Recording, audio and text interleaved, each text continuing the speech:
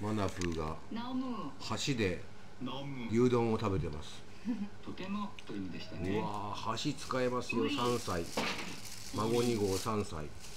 橋を使って。う意味です。カルビタン。カルビタン。これカルビタン先ほど出てましたね。ソロンタン。ソロンタン。七大スープの一つですね。ソロンタン。何かラジオの不思議な外国語に反応してますという時に使う言葉ですねマシサよ 드세요 찔찔찔져요 뻑까뻔무자니 聞いてるのこれハングルだよ尊敬表現になっていますねでは今日の会話をもう一度復習しておきましょう 감자탕 너무 맛있어요 ね많이 드세요 많이 주세요. 今日の学習はここまでです 안녕히 계세요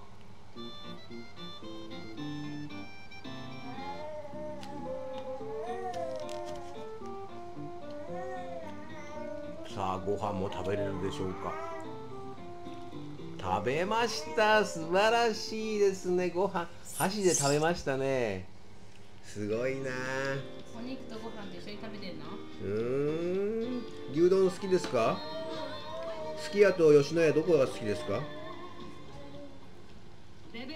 松屋は？どこが？え好き？松屋が好きなんだ。へえ知らなかった。松屋はね牛飯って言うんだよ。